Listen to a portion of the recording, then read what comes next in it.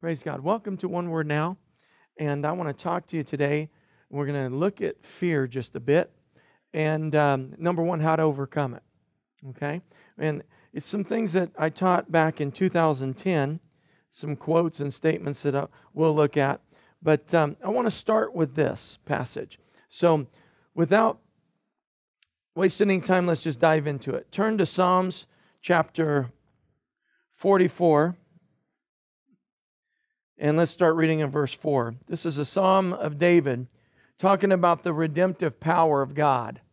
And um, sometimes when we're dealing with fear or intimidation, we don't always see the outcome as clear, crystal clear. Sometimes fear becomes a greater truth to us or a greater presence than even God Himself. And if you're in that quandary right now, I'm here to just simply tell you it can change. It will change. But we have to change first. As Drop just talked about, we have to change, number one, what we speak. Second, what we meditate on, what we give credence to, what we give allegiance to, what we certify or don't certify. And then, three, we've got to move to a higher vantage point than the present discomfort. Amen? You have to. If you don't, you will be overcome, you will be overtaken by that that you fear. Job says that this, that that I feared the most has overtaken me. Some want to teach that as God tested him, God tried him, God, you know, played like poker with the devil over Job. That is not so.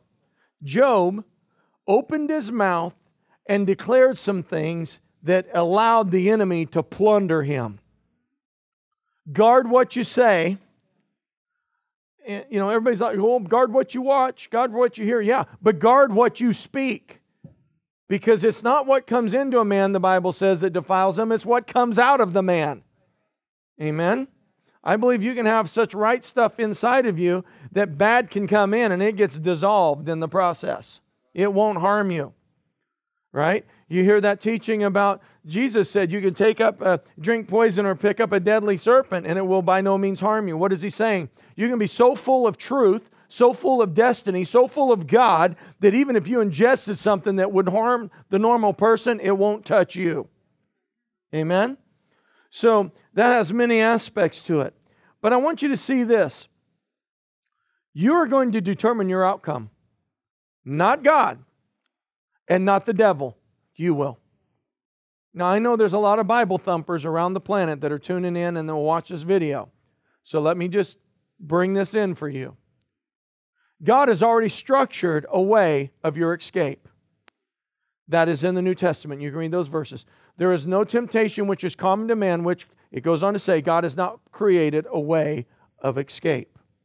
Amen? Second, let's jump to the devil. The devil is nothing but a plunderer, a thief, and a liar, and a destroyer. Why do you think he would do anything other than that? Right? So my question is, is if you know he's a plunderer and a destroyer, and you know God has already created a way of escape, you have loss on one side and win on one on the other and you're in the middle. You choose.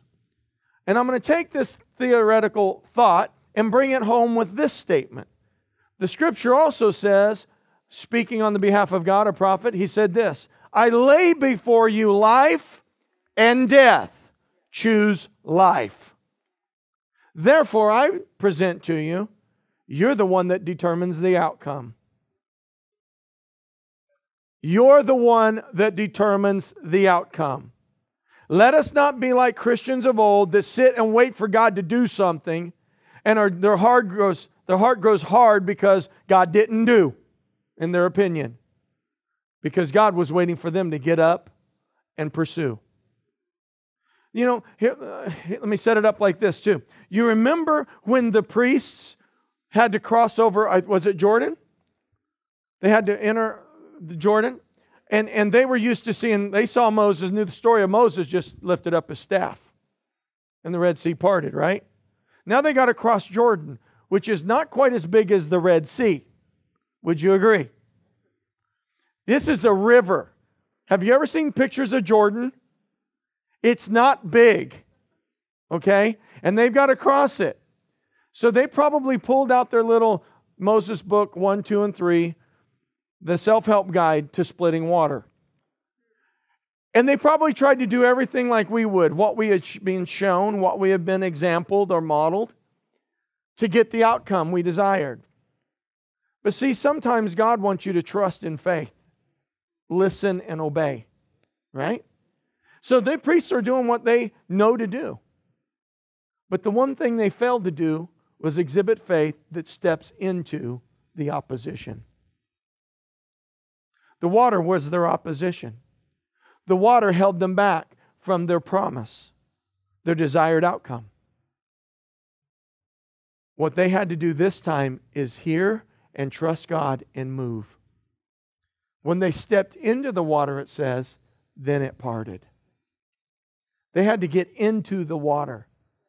You know, I don't know about you. I kind of like it when I can stand on the edge of the mountain and just lift up a staff and it parts. Right? That's kind of cool, right? You go to the bank, there's nothing in the bank account, and all of a sudden, it just a check from nowhere shows up. Right? And you walk in there with your big faith muscles. That's cool. That's nice. But you know what? There may be a time to where you just have to step into the opposition, step into the discomfort, step into the dysfunction, and then God parts it. What am I saying? I want you to have the type of faith that literally can endure all, can withstand all, and can conquer all. Amen? Now, don't ask me to repeat that. I can't. but with that being said, let's go to this Psalms 44, and this isn't in the prepared message I got this morning but this is something from praise and worship. Look at verse 4, Psalms 44, verse 4. David says, You are my king, O God. Command victories for Jacob. Through, uh, uh, through you, we will push down our enemies. Through your name, we will trample those who rise against us. Look at this. For I will not trust in my bow, nor shall I my sword save me. But you have saved us from our enemies, and have put to shame those who hated us. Can I tell you something right now?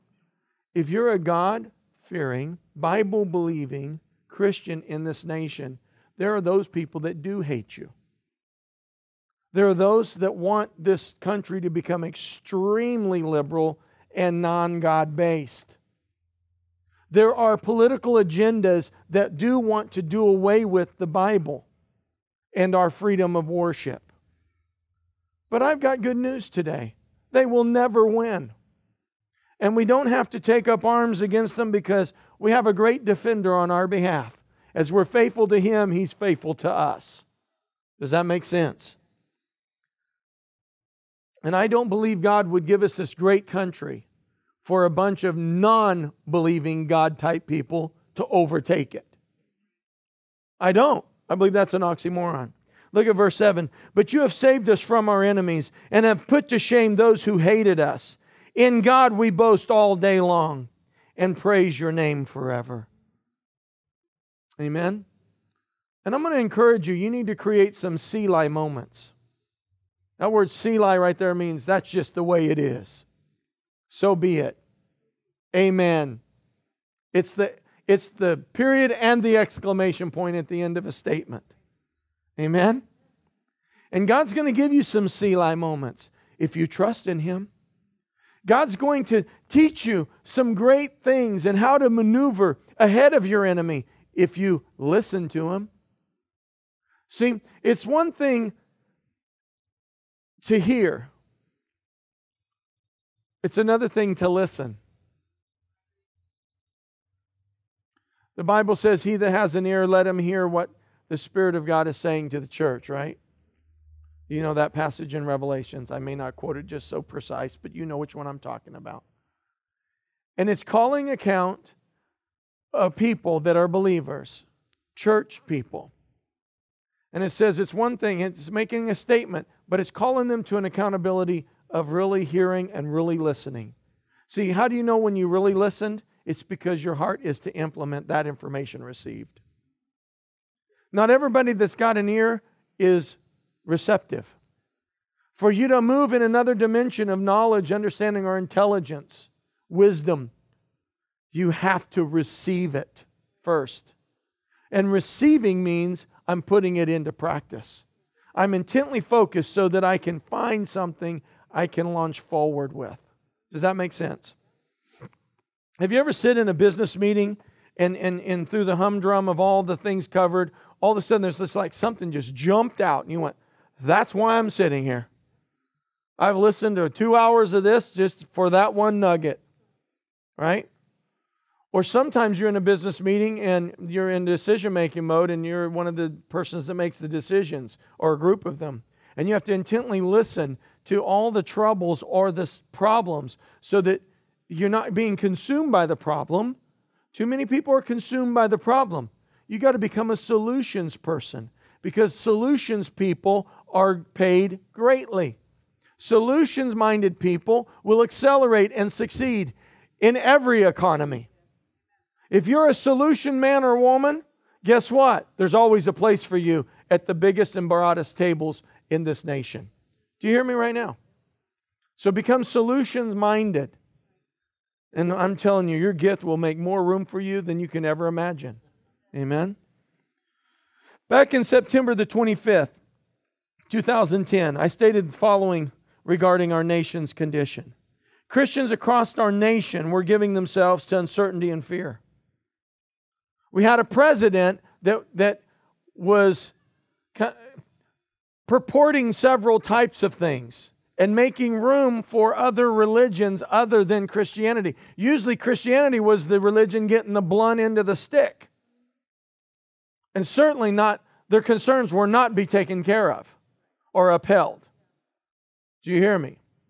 The conservative mindset, the conservative man or woman, your ideology was being thrown out as if it was invalid, unvalid, not being validated from the White House. And it was as if it was insignificant and it was old fashioned and it needed to be uh, ideology that was killed. Bottom line if you were a conservative, you didn't have a voice, you were coached, told that you needed to accept everybody else's opinion at the expense of your own. So when you voiced your opinion, and it being straightforward and challenging people in their lifestyle, you were told to be the one to be shut up and to be silenced. Don't speak, because when you speak, you're disrespecting others. Even the other person could speak everything demoralizing your theology, and they were promoted. That was the state of our country. We got a glimpse into a future nation whenever they turn away from God, what it could look like and what it could become in the manner of eight years. What our forefathers for 200 plus years fought for, stood for, gave their lives for, in eight years was demoralized and demolished to rubble. Do you hear me? Let us learn from that lesson well so that when we move into our future, we are bolder, stronger, and more accurate than we've ever been. Amen? And there are people that had the power and the authority and the platforms to bring change were silenced and living in caves. This was the state of our country. People in Christendom were changing their theology to accommodate the opposition. They didn't want to be a target, they wanted to be accepted. Let me explain something. If you stand for the gospel of the Lord Jesus Christ, you're always a target for the word's sake. If you stand for righteousness and dignity and purity, you're always a target. If you stand for law abiding, you're always a target of lawlessness and lasciviousness. If you stand for purity, sexual purity, you're always going to be un, uh, an ideology that wants to be diminished by a liberal agenda. It's just the way it is. It's just the way it is. I lost friends because of what we stand for over the last 10, 15 years, 10 years. Marinara, five years. Because I refuse to say that that humanist sec, uh, secular opinion is a greater truth than the Bible. Refused it. And I will not turn away from that. The only thing we have in Christendom is God's word to stand on. You take that away, you diminish that, you've got nothing. In the last few weeks, a major denomination in Christendom in this country has thrown the Bible to the side and promoting another one. I won't even say what it is on there. Hear me right now.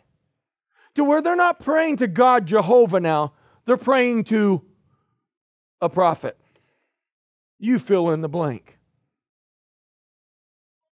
Same denomination has said that the, the tenets and articles of solid foundation doctrinal truths of what is acceptable for leadership. Uh, 18 years ago, they, they threw that one out, where it says husband of one wife. And I think they have it like husband of one husband. Do you hear me? And they have openly promoted homosexuality amongst leadership and senior leader, as well as lesbianism. You tell me. I'll probably get hate mail for this. But it's still truth. What truth are we going to believe?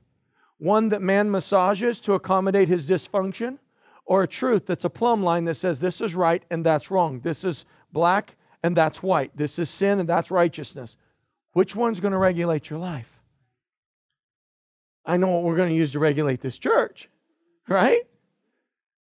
Yeah. So, with this, this was the state of the country. Media outlets constantly reporting terrorist attacks while our government appeared to do nothing. While our government appeared to take a back seat and even help open up doors so more attacks could take place, more Americans killed abroad. Do you hear me?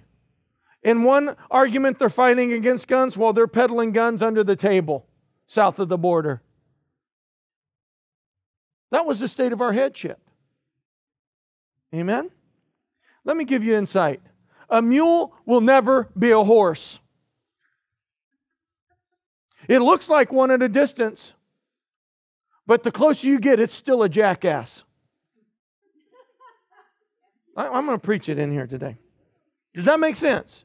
It still is. Now, they have a different stride. You can use them for certain things, but it's not a horse. You take, you take a, a mule to, to an equestrian outing, they're going to think you're Ma Kettle. What the heck showed up? Right? Come on now. Come on now. You know, the Wright brothers, God bless them for their invention, set an entire industry in transportation, I mean, stratosphere. But they would look awfully strange showing up in this new, what is it, Red Bull airplane races that they're having all over the world trying to compete, would they not? That's about the difference between a horse and a mule. But when you have headship that has a hidden agenda that is anti God, anti Christ, anti faith in this nation, it will never stand as long as believers like you and I keep believing, keep declaring, and keep praying. God will not have it. It's just the way it is. media outlets, if you listen to them, some people allowed them to change their internal belief system and they started declaring that America was coming to an end, that God was judging America, and this was our fault because we stood for righteousness and we just didn't let anything go.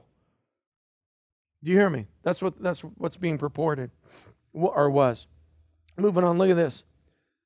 They were talking of a failing economy, and that would to even make matters worse. But we all took a different opinion. You remember this. We said, no, we're not going to believe for a failing economy. We're not going to believe, even if numbers are looking us in the face, we're not going to believe that. We're believing something greater. Amen. Even if ungodliness, unrighteousness is being promoted under this administration, we're not going to believe that. We're believing for something greater. And to the more they want us to become real liberalized, we're going to become more conservatized, which is we're going to get stronger on the truth and keep ourselves and walk in according to truth, the word, more pure. And many didn't like that. I can tell you that right now. You know, some were raising loosey goosey, and we're raising, you know, virgins. Big difference. You know, Madonna can sing like a virgin because she's not one. Hello? She lost that so long ago, she probably can't remember. Do you hear me? And if we're looking to a specimen like that to lead us, we will always be in a ditch or a jail cell. Come on now. I can't believe the women that are in that sector haven't found a better spokesperson. I mean, that's going deep into the barrel. Hello? Anyways, moving on. Look at this. Let me get off my soapbox. But this was the state of what we were all looking at. And you and I together, we said, no, we're going to keep praying the word. We're going to keep saying God's going to bless this nation. We're going to keep prophesying the blessings coming and change is coming. And I believe we're experiencing that now. Amen? We took a different stand. Watch. We took a different view that says the Bible is based in believing God and it still is in charge and has control. Giving up is never an option for a believer, and that was our mind, mindset and mentality. I want you to understand something. Do, do not develop a faith that has to receive accolades. Develop a faith that can procure God's promise. Does that make sense? I, have said this for over a year now. It's kind of a little catchy phrase. I always talk to Drop, and when we're having conversations, I say, you know what? Problem with that person is they believe their own headlines. They believe their own headlines. Think about that. You and I cannot afford to believe our own headlines, as good as they may be. We can't because we'll end up deceiving ourselves. Pride will set in and we'll set up for our destruction. Never believe your own headlines. Celebrities are great at that. And that's why celebrities are here today and old news tomorrow. Amen? Here's some of the three statements that we were talking about back then. Number one, we kept saying this what is right in a nation will only temporarily be hidden by what is wrong in a nation. Temporarily hidden. Next one we said is fear of the future is trying to undermine our faith in our God to provide and to prosper His people.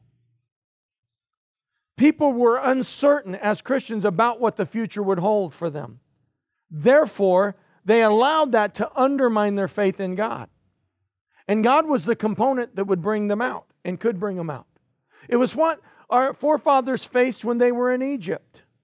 There were those that believed, but there were also a group that didn't believe, even on the exit. Even when they were pursuing you know, the promised land. They were only trekking for 40 years, but they'd been living under tyranny for 450. They had only given about a 10% of uh, time as to those that held the promise. What am I saying? 90% of the people will let go, only 10% will hang on. In any business, if you would uh, evaluate it, you'll find that less than 10% do all the work. It's how business is. it's just how it is. Second, in any ministry, same thing. The, the thing about our ministry is that we all get involved. we have to, right? Have to be engaged. But I'm here to think, ask you a question. How many people have you seen come through those doors? Has the teaching changed? Has the Spirit of God changed? Has the engagement with God changed? No. No. For whatever reason. And I can tell you this Darren and Drop won't change because we've been preaching the same message since the early 90s. We just have to update it because technology keeps, you know. We used to talk about a brick phone. Now we have to talk about, you know, the Android and the iPhone. Right? An iPad didn't exist back then. It's called a notepad. right? So that had to evolve. But watch this. The next thing we said is our faith must be word based, Christ centered, God instated. Therefore, we shall not fear. No matter what was going on, we never allowed fear into our home, just like many of you. We would not tolerate it, would not allow it.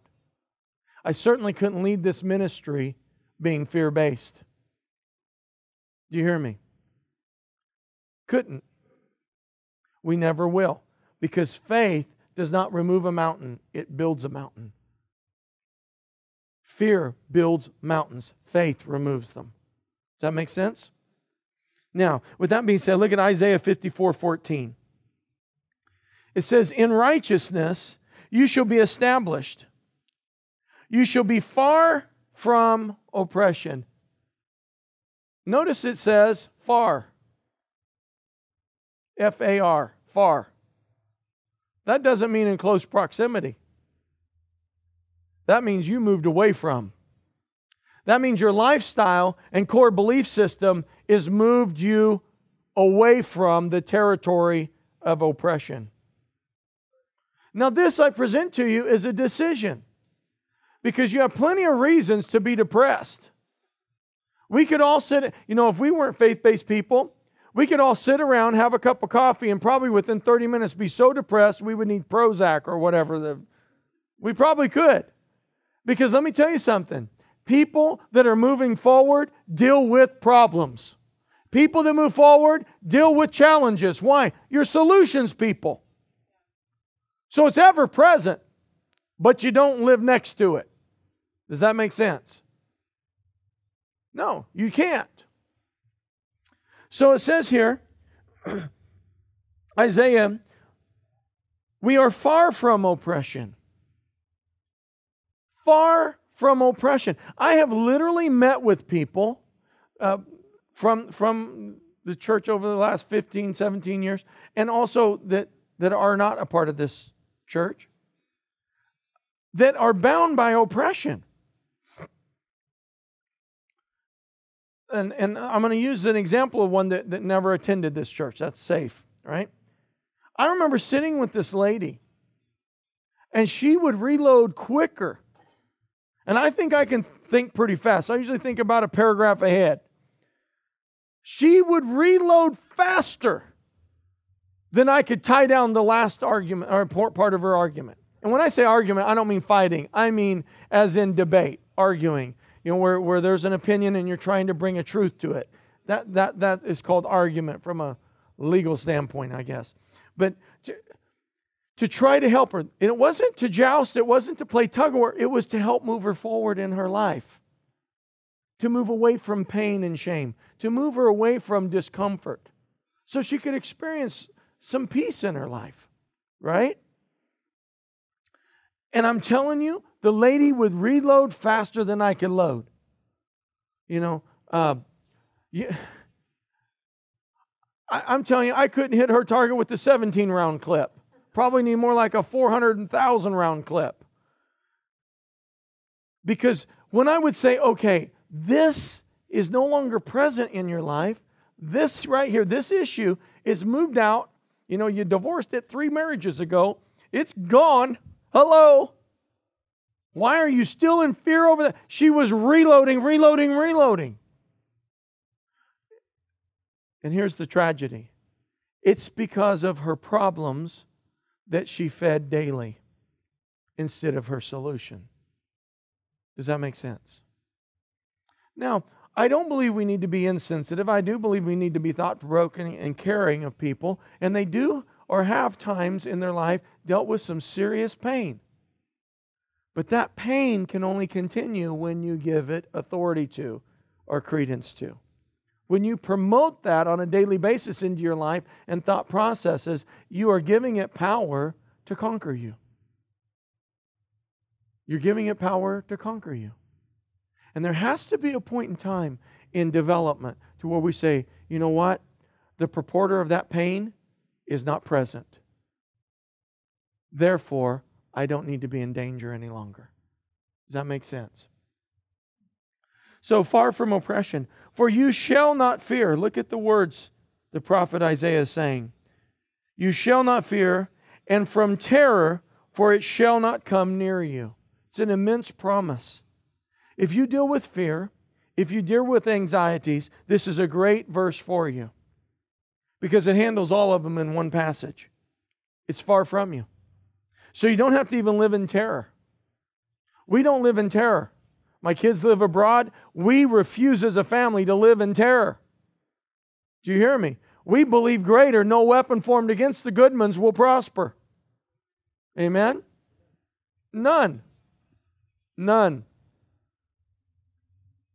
Now, I'm not stupid with that and go out and jump in front of tanks or whatever, you know, or the FedEx truck. No weapon. Probably better than that. The guy that brings Bill around, the mailman. no weapon. I don't jump out in front of the little postal Jeep. No way. But let me tell you something. We have a faith like you that whenever the situation would evolve or occur, we know no weapon of the enemy will prosper in its advance against us. Does that make sense? Look at this. So, a couple questions. What are you and I, what are we established in? I think that's the, a fair question. What are we established in? Or what do we allow to be established in our hearts or thoughts? Because whatever we allow to be established in our thought process or in our heart will take up residence and it begins to form uh, a fortress within our heart, a fortified area. Now, we can also call that a stronghold, could we not? And a stronghold, many times as soon as I say stronghold, we that are church, we think we need to cast the devil out. I think we need to cast the thought out. If I can cast out enough thoughts, I believe the devil is probably sitting over there just drinking a latte. Because sometimes I don't even think he's present, but he left a thumbprint. And you believe the thumbprint greater than him, you know, than truth in, in front of you. Now, I also understand there are times it is spiritual. But we Christians go spiritual too fast. We pull out the spiritual gun way too quick when most of these things could be handled with the natural gun. As a man thinks in his heart, he is.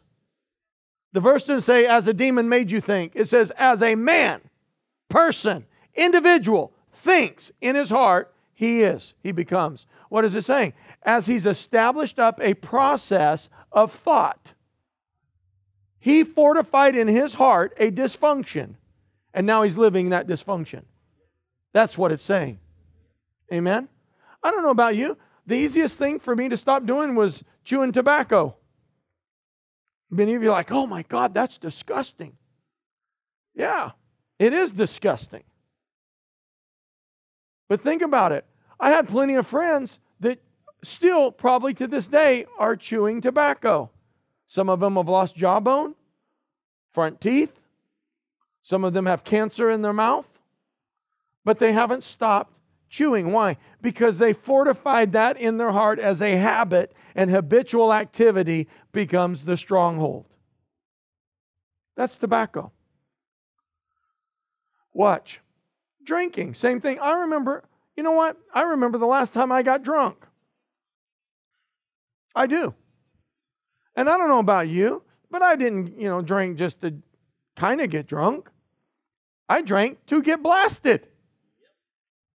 Hey, it happened to be free pink tequila. I'd never seen pink, tequila. So I thought I might as well just have enough of it I could swim out. That's my wife about. We were on a cruise, man. This is in the in the early 90s. Every time they volunteer needed a volunteer on the cruise ship, I was I volunteered. Like, hey, it's free. I'm in. Right? I mean, what are they going to do? Throw me off the boat and leave me out here? Not going to happen. So I pogoed. I did the limbo, limbo. Did the limbo. Yep, did that one. Then, then it wasn't fun enough just to bend down. I started doing Pete Rose, you know, like he used to slide into second base head first. So, so I asked him, forget that. I'm going to do it my own way. So I went trekking across the boat deck and slid underneath the thing. Of course, it got a good, good, you know, reception from the crowd. All they had to do is give me more pink te- tequila. I mean, I was ready to drive the ship if I needed. Trust me. I had fun when I got drunk. I don't understand drunks that cry. I'm like, heck no, I'm going to have fun. I get an excuse to act stupid. Amen. Come on now. But I remember it. I'll never forget. I got off the boat. A lady came running over to my wife. She's trying to hold me up. Obviously, she's small, you know. And and this I'm green, literally. And the lady sets me down and goes runs into a restaurant and starts bringing out bags of ice and putting on me. So I was intoxicated way too much. And I was seasick way too much. And I guess I was green as seaweed.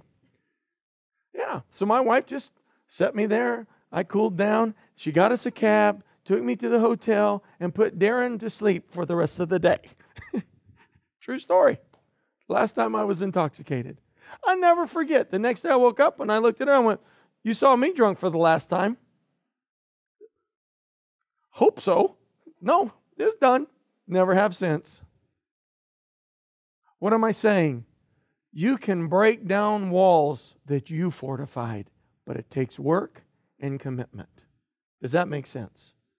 And that works from gossip to drinking to illicit sex to smoking to what else? Thievery. Uh, what else can we come up with? Any other type of sin that tries to destroy a person's life. Does that make sense? Now, what about this one? Here's a sin living in fear and speaking a lie. Oh, we're going under. You're not going under. God's word says you're going over. That's a lie. That's actually speaking a curse because it's contrary to God's promise. Right? How do you break down that fortified area? Speak something different. Speak the truth to it. Right? Amen? So, so, with this, I understand it is uncomfortable to change. It's uncomfortable to challenge something that you fortified in your life or lifestyle. But the only person that can destroy the activity of it is you and I. Amen? Does that make sense? Let's move this down the road a little bit. Watch this. So now, if you establish it in your heart and your thoughts, it starts to be established. You gave it credence, you gave it a law to exist. Does that make sense? Watch. Who is residence in your heart?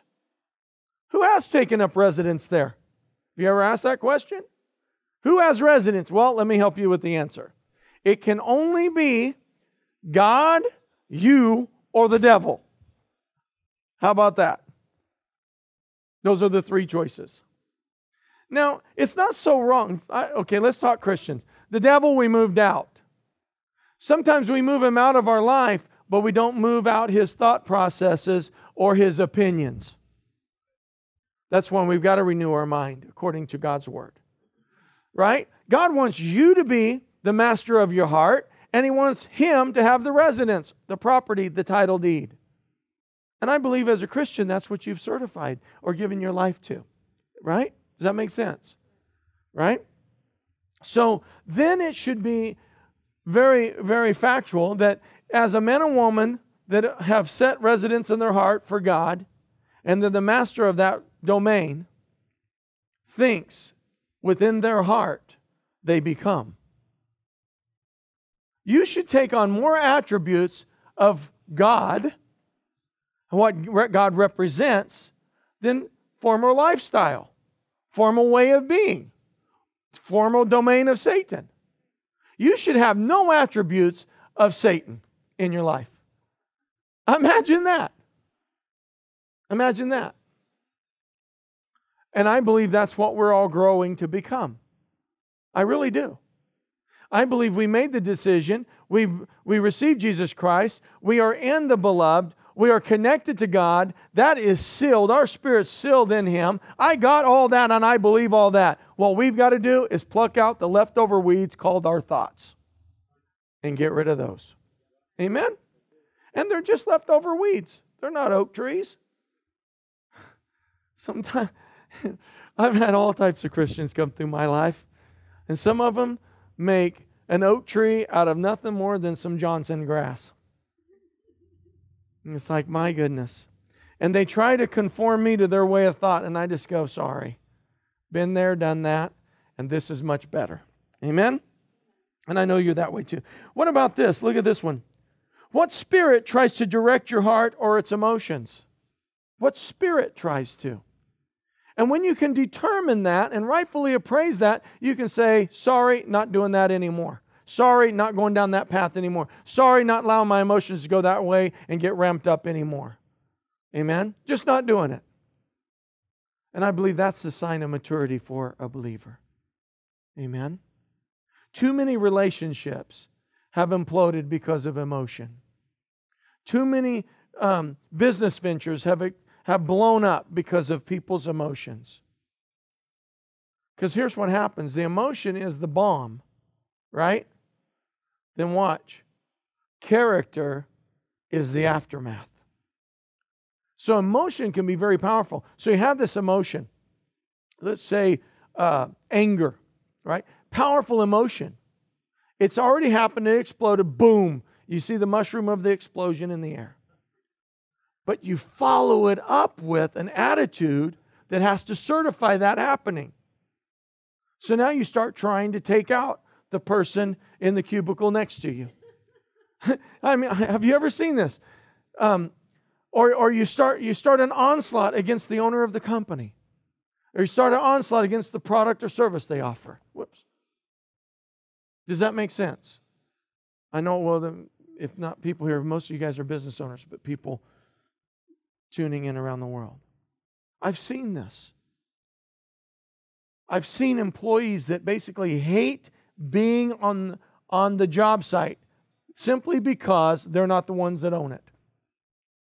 And I always said, well, why don't you start your own then? Why don't you go across the street and start your own business?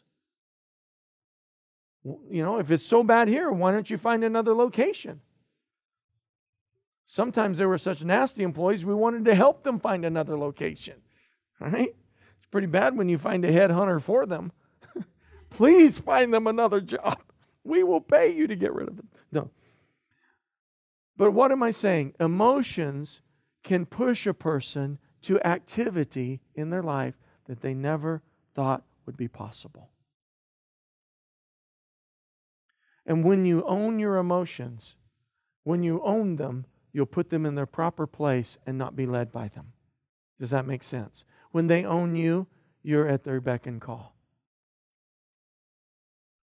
Put this in your notes, please. Whoever owns the space in your heart determines your direction. Whoever owns the space in your heart determines your direction. This is why I say it needs to be you and God, because the two of you together will determine a great direction for your life to go in. Now, it's going to take some planning. It's going to take some growth. It's going to take some maturing in areas. It's going to take sometimes walking out on water. I've never met a business owner that started out and that wasn't afraid of, of what the, you know, what they were getting ready to, to jump into. A little bit of apprehension, let me put it that way. That's probably more accurate. But I'm here to also tell you there's something in you that has an innate ability to believe and to keep pressing forward, even when you don't have the budget, even when cash flow is waning, even when costs of goods and services are going up. You keep finding a solution. Amen? And that's why you'll be here tomorrow. And that's why you have confidence the enemy is not taking you out today. Not going to happen. I must be a popular preacher. Even the cockroaches are coming to listen to me. Amen. Praise God. One thing about own church, we have big cockroaches. We don't have these little mamby-pamby ones. We have faith cockroaches. They come in and the ground shakes when they walk. I mean, they are big mothers. Amen. Praise the Lord. I can just imagine what people think overseas. They have what? Yes, they're dinosaur level size. Amen. Put this in your notes, please. Look at this. Truth is more powerful, thought provoking, and impactful than a lie. Truth is. But for too long, we've taken the lie and we've inflated the lie to where it's more impactful in our life. It isn't. The truth is more impactful. Now, the truth takes a little longer to go around the world than a lie. The lie, the lie travels at rapid speed. You know, the rabbit, he's, he's, uh, takes off like he's going to win the race, but the tortoise always finishes. Never forget that. Sometimes Drop and I, we eat breakfast every morning together. We make smoothies together. We got this routine. You hear me say I don't do dishes? I've been lying. She's got me doing dishes now, and I actually am enjoying it as we get to talk. I do dishes with my wife every morning now. Isn't that fun? Watch. But we often talk about, you know, everybody wants to take off fast, hit, hit a pace, and keep going. MLM companies, I mean, they're no, notorious for this. But here's what we've been saying for the last six months even the tortoise finishes. Even the tortoise finishes. We tell our kids that when they're talking and reeling and you know they got hustle and bustle in their life and lifestyle. We say, even the tortoise finishes. Do you hear me? Because let me tell you something faith is always working, even when it seems as if it's moving slow. Amen? It's going towards the promise. Moving on. Live for God and give all yourself to Christ, then your future will be fabulous. Then your future will be fabulous. I am more optimistic now than I have been in so many years about what's going to happen in this country. The possibilities, the potential. And it's not just based on the party, you know, the Republicans being in, in the White House. No, I just believe there was some important things stated from a person in the power position that set this emotion in play over this nation. The Bible's real clear when righteous men lead, people rejoice. Real clear about it. I'm rejoicing. I don't know about the rest of these people out here burning stuff down. I'm rejoicing. Amen? It's like, I don't know what they're all uh, mad about. Like, you know, just pipe down and go have a coffee. It's going to be better. Now, here's what we need to do is every one of those that are in opposition to good changes come into our country, we need to probably write their name down so when the good changes arrive, they don't get to partake in it. What would happen then? That'd be a hard lesson to learn, wouldn't it? Wow. Anyways, moving on. Isaiah 60, 17. Look at what this passage says.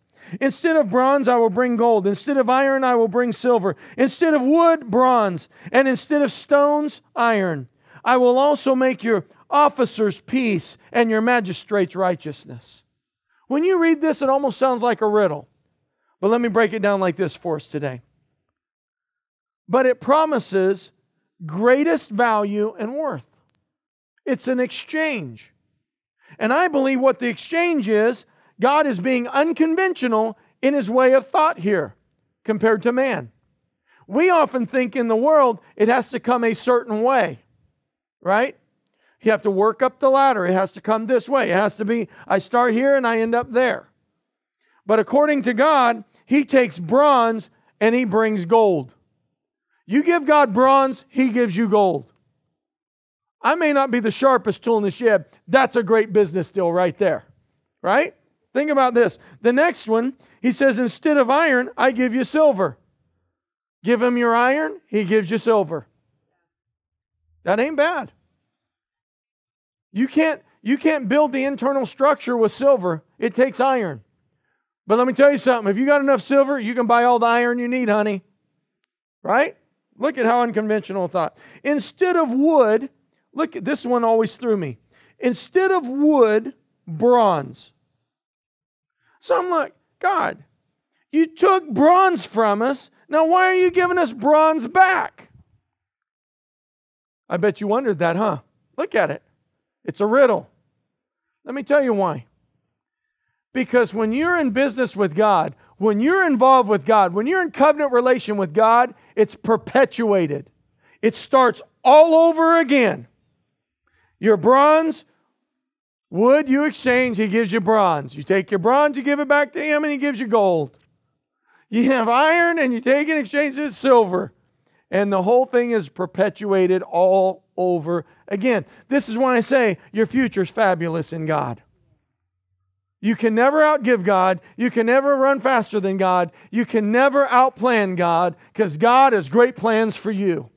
Amen? It doesn't matter what economic structure, it doesn't matter what governmental structure. I'm telling you, even in communist Russia, I know of Christians that are prospering very well. Even in the Middle East, under the tyranny of what goes on there, I know Christians that are there and they are prospering. You hear me? Now, that's not the preferred systems to be under, obviously. But let me tell you something with God, all things are possible if you're in covenant with Him.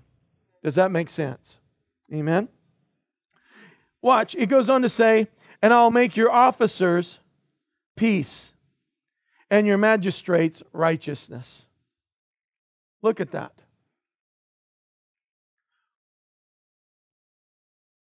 God's going to put leadership and headship on you, whether it be an enterprise, business, and ministry, or in this world. They will be peace regulated and righteous people. Isn't that amazing? It's amazing. When you get engaged with someone, this is what you should expect peace and righteousness. When you look at doing a business deal with somebody, this is what you should look for and expect peace and righteousness. If you don't have peace, don't do it. If you can't walk and operate in righteousness in it, don't do it. And certainly you can demand that from your partner. Watch. The world's best that it can offer you and I is bronze in this passage. It's the best that the other side of God could offer. It was the best. Bronze. And God's best was gold. Isn't that amazing? God's path offers more precious raw materials for you to work with than what you can have in the world. Imagine that. I'm telling you, if you're walking with God as a business person, get ready. Your bank account's going to be full, your home will be full of peace and joy. He'll give you so many ideas in, in this uh, global economy of how to increase your natural wealth and to help others in the path and along the way. He will. He will. I love this. I often say this think beyond the borders of Clovis and Fresno. Hello? Some people that live in this region think this is the entire world. Like, are you kidding me? That's like they need a passport to leave town. Like, no. You're only in Fresno County. You know? Well, I was thinking about going to Madera. I wonder if I should take a passport. Like, this is the total sum total of our country right here, Clovis, Fresno. Like, dear Jesus. I've actually met people, and my kids have. They're like, Dad, can you believe it? They're telling us, I've never left Clovis. I'm like, how? Are you kidding me? True story. Met kids from Clovis, they had never left Clovis. I'm like, how? If I were you, I would take 99 bucks, hop Amtrak, and go see some countryside. True story. One, one family said, Yeah, we've never left California. I'm like, Why? Well, just had no need to. I'm like, find one. It's just amazing. But this is also why we can say some people are very narrow with their opinion and their insight, is because they haven't looked beyond the borders. Do you hear me? Can you imagine living in East Germany when the wall was up? You could only look as far as you could get up in a high place and peer over the wall. Your whole world stopped at that cement wall, brick wall, and barbed wire fence. It stopped right there because you knew people that ran into the gap and got shot. They didn't make the wall. Your whole world stopped at the edge of that wall. Can you imagine living there and looking over the wall eh, from a high vantage point and look over the wall and see the western side of Germany? They're driving newer cars, living in nicer homes, wearing newer clothes, and you're stuck with wearing gray. The color of communist. Back then it was gray, black, drab colors. Can you imagine? What about China? Whenever China was closed up, the best you could ever have is flannel gray. Imagine that. But let me tell you something. There's some people that when they see the wall, one question is, how are we getting over it? That's how they're ruled by. How are we going through it? How are we going over it? Do you see? Because the wall will not limit them from God's best in their life. Amen. I have a dear friend that's a preacher, a minister in what was former East Germany drinking whiskey, smoking a stogie from some Bibles that he confiscated out of a car trunk, freezing his, his buns off at a checkpoint, decided just to open up the box and read whatever was in there. He knew his Bibles. Bored stiff, starts reading the Bible. And he says, I sat there and I got saved. That's the power of what's on your lap and in your phone. That's the power of God's Word. It will reach us wherever we're at and it will keep us. Amen? He started an underground church. It's no longer underground. As soon as the wall fell, it became very loud and worth a lot. You hear me? Look at this. Verse 18 Violence shall no longer be heard in your land. Now, your land is your property. You should not allow the words of violence on your property. Whether you're renting or owning, it's your domain. In your domain, violence should not be tolerated. Do you hear me? Or violent speech. And violent speech isn't, you know, you arguing with somebody. Violent speech is when you start speaking contrary to what God says your family can have. That's violent speech. Amen? When you start siding with the devil, that's violent speech. Does that make sense to us? Amen. Look, and it goes on to say, neither wasting nor destruction within your borders. Hey, God's all about walls. So am I. I jokingly said the other day to a person, I almost meant it though. Man, if we build that wall, I'm just going to take some of the guys from the church if they want to go and I'll go lay some brick. Yeah. Walls are good. Walls can permit things to come in and they can keep things out. They're not all bad. Do you hear me? A wall can be a good thing. I'm glad heaven has a wall, and its pearl gate is big. And if you are in right standing with God, it permits you to come in, wide open door. Do you hear me? Wouldn't that be a great missions trip? What are we here for? We're just here to lay some brick. I'm going to write John 3:16 on some of those bricks. No. I said that to the person, they about spit their food out. It's like, my goodness. I've snuck behind walls to preach the gospel. Do you hear me? Let me tell you something. God has bordered up and walled up some areas of your life which is keeping destruction out from wasting you. Does that make sense? It goes on to say, "But you shall be you shall call your walls salvation and gates of praise." Why don't we start praying for our president like that? Well, President Trump's going to be building some walls of salvation and some gates of praise. Let me tell you something. When you come in here and you get to be a part of the American lifestyle, you ought to praise all the way across the border. I've been in Tijuana. Trust me, it's not beachfront property. Amen. It's shanty level. Do you hear me? Wouldn't that be funny if President Trump did that? Just put salvation in the bricks and a big gate of praise. You know, he hangs out with Paula White. That's possible. It's possible. Put these two things in your notes. Two great defenses. We're almost done. Our lives being walled by Christ's salvation. Two great defenses. This will keep you no matter what comes against you, what I'm sharing with you right here. Walled by Christ's salvation.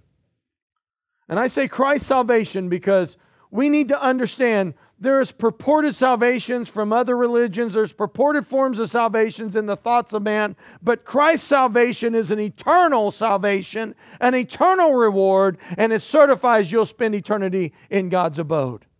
Amen? That's why I say Christ's salvation. Next, here's the next one. We enter and leave through the gate of praise.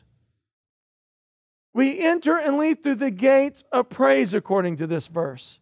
So when you walk into your home, it's praise. When you leave your home, it's praise. And when we get more focused on praising what God's already done for us, we can be assured our future is fabulous and bright. I don't know about you, but if he's a dad like this dad, when my kids praise me, I'm looking for a credit card, a bank account, or a check to write. Amen? Come on. How many dads know when your daughter starts praising you, you're ready to take her to town, buy that girl a pantsuit or an outfit? Right? Caleb figured this out, so when we go around a car lot, he'd start praising me real big. I'm like, I know what you're up to. Yeah. But we know this about Father God. If you ask of bread, he will not give you a stone. We know that passage, don't we? What we ask, he provides, he will give to us. Right? And so your gates need to be the gates of praise. Praise during challenging times is like a hurricane hitting the enemy's camp. One time, Drop and I were getting pummeled, and I mean on every side. On every side. And the Christians that were around us at the time, they, you know, I know they were God people, but they couldn't discern to save their life. We'd be at home with an empty refrigerator. We'd given all to the work of the ministry, given all to missionaries, and we depleted ourselves. And I mean, I'm sitting here believing for gas money to drive five blocks to go to the church to be a pastor.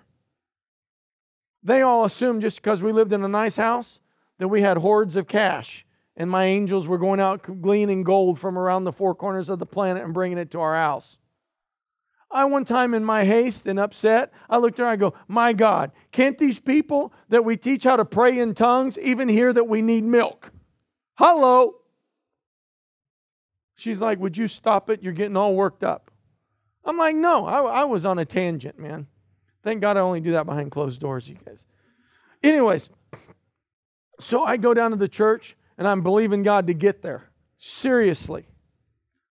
I get to the church, and the least likely person that would ever attend our church, I mean, the most rambunctious, rebellious person, walks in the door and says, Pastor, God told me to come and give this to you.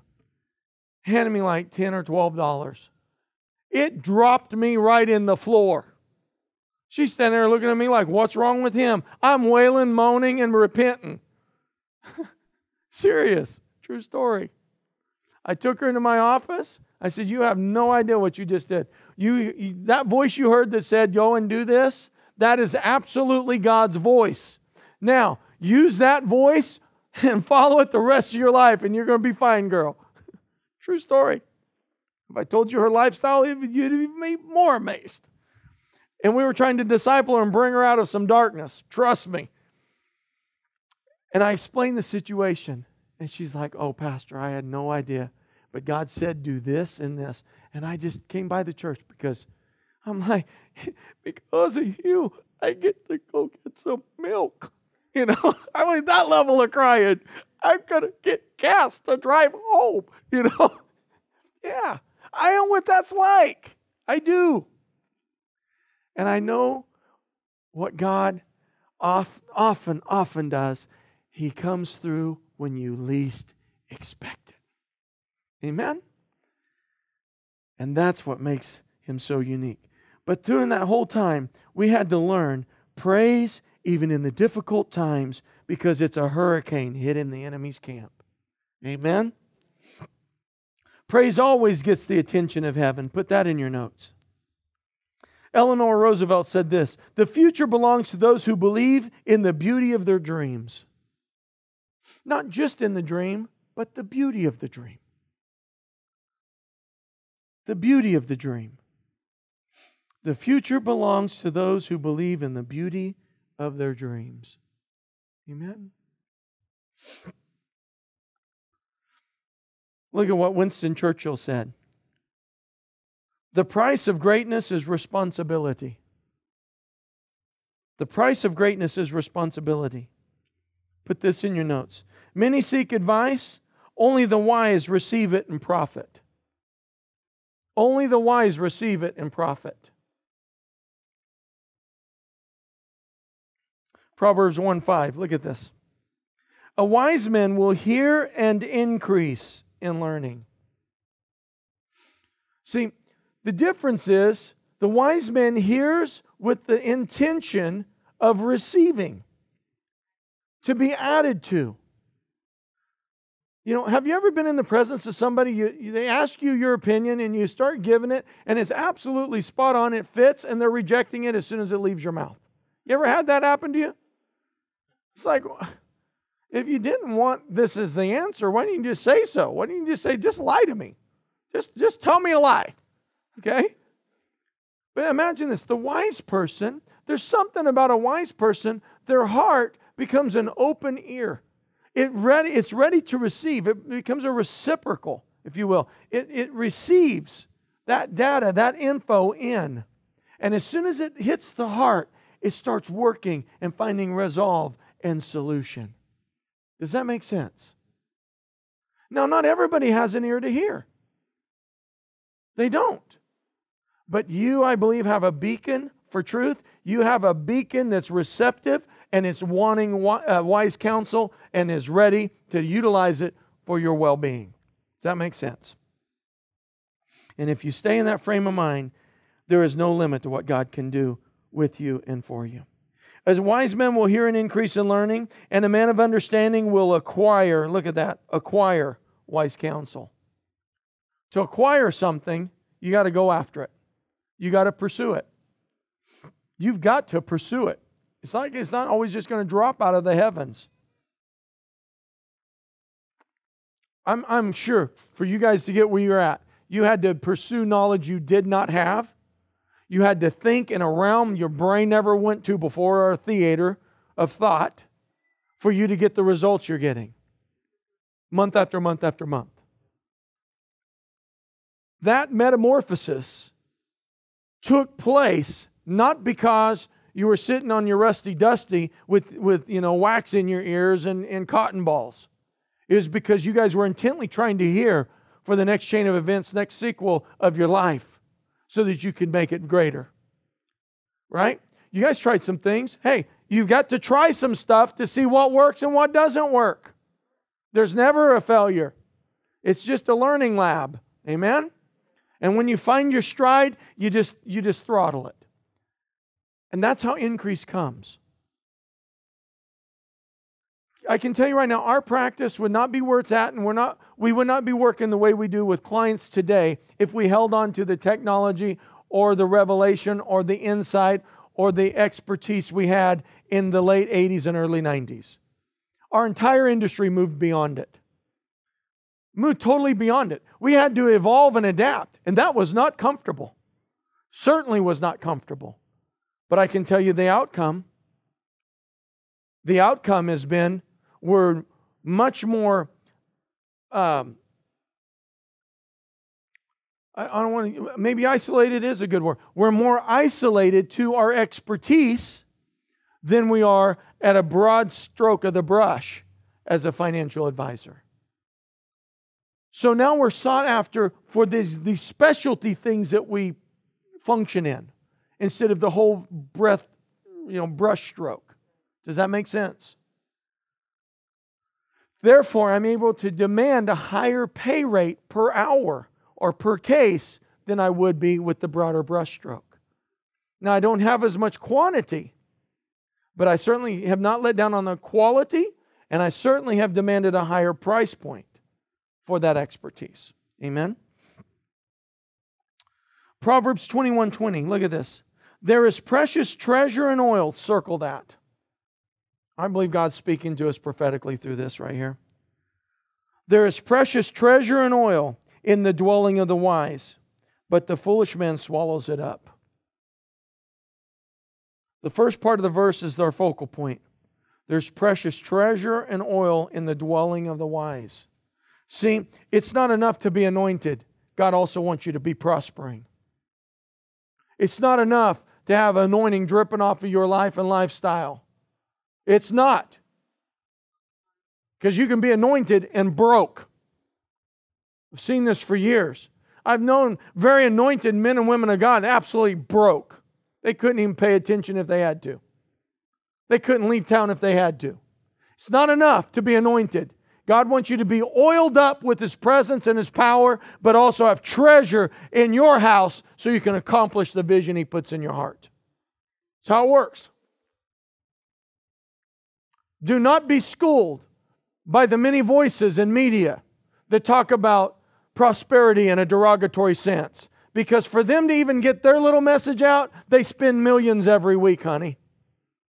And contributors give to them. Do you hear me? That's kind of like the zebra laughing at the horse because he doesn't have stripes. Does that make sense?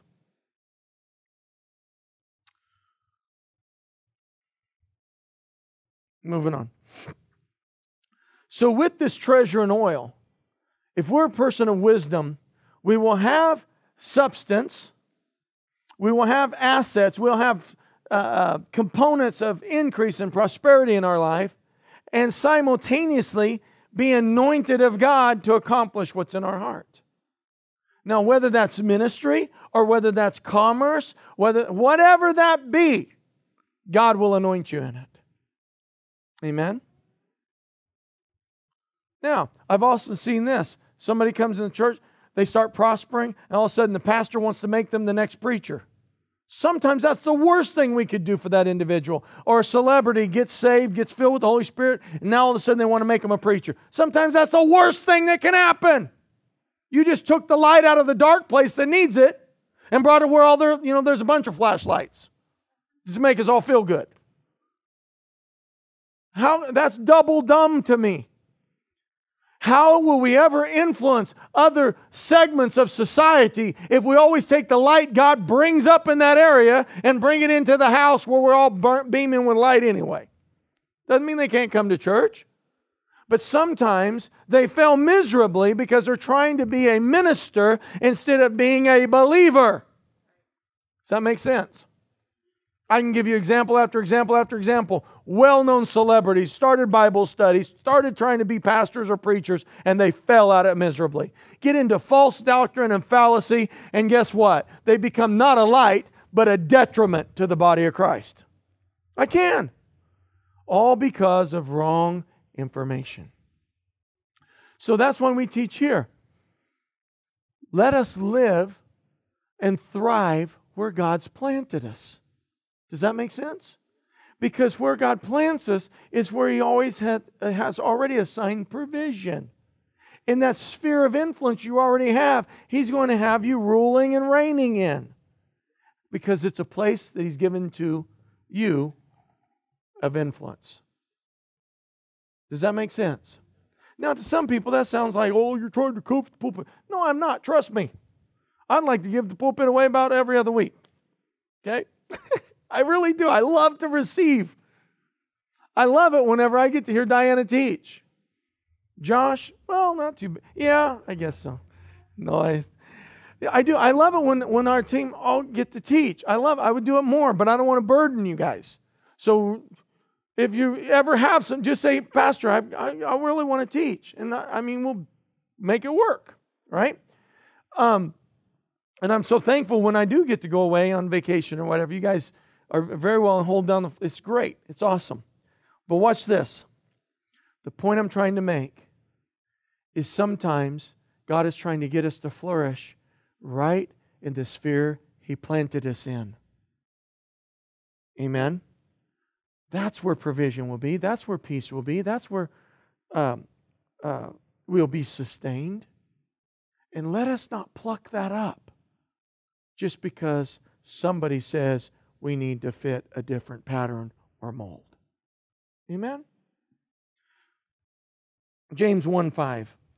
If you lack wisdom, you should ask God, who gives generously, look at this, to all without finding fault. God doesn't come to give wisdom and then pick out all your splinters in the process. No. He comes and gives you wisdom without finding fault. And then what does he say? And it will be given to you. God is not the fault finder, man is. God is the giver of wisdom. Amen?